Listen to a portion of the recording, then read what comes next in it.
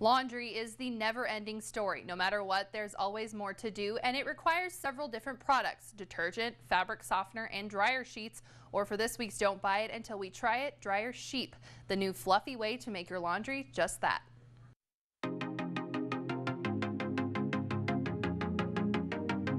This week is a simple science experiment. My hypothesis, the dryer sheep will make this load of towels as fluffy as your everyday dryer sheets. Dryer sheets can often have chemicals like benzyl alcohol, camphor, and ethyl acetate. The dryer sheep are 100% New Zealand wool. First up, the dryer sheets. Out of the laundry, the towels had a very flowery smell and felt great, soft and fluffy. A serious concern with the dryer sheep was that they would be loud in the dryer, and they kinda are. And side by side, the comparison wasn't quite as dramatic as the package of dryer sheep would want it to be. For static relief, I give both a 10 out of 10. No cling here. For freshness, the advantage has to go to the sheets, but that's probably due to the artificial smell that the sheep are lacking.